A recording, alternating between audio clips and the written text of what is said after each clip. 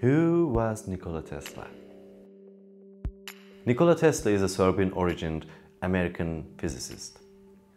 He is a mechanical and an electric engineer and also an inventor. He once said, The one who read and don't understand the Holy Scriptures becomes religious. The one who read and understand becomes an atheist. Tesla put all his money into experiments.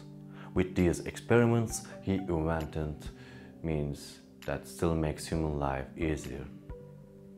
To have a better understanding of foreign technical document, he learned German, English, French, and Italian besides of his native language, Serbian. Fluorescent, radar, MRI are inventions based on Nikola Tesla's theoretical works. He transported electricity through air without solid matter. After Tesla got patent for this project, his biggest supporter, J.P. Morgan, cut financial support.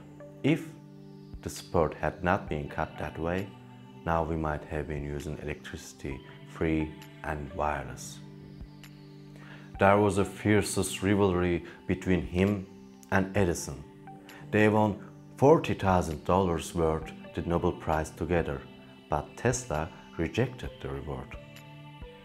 Tesla never got married. He thought that his singleness and asexuality helped his scientific abilities. Tesla was an obsessive person. He had strange habits and phobias. To organize his work time, he separated his works in groups of threes. On January 7, 1943, he died in age 86. Military executives seized his case and no information survived from his registry. Now, every 10th of July is celebrated as Tesla Day in New York and some other states.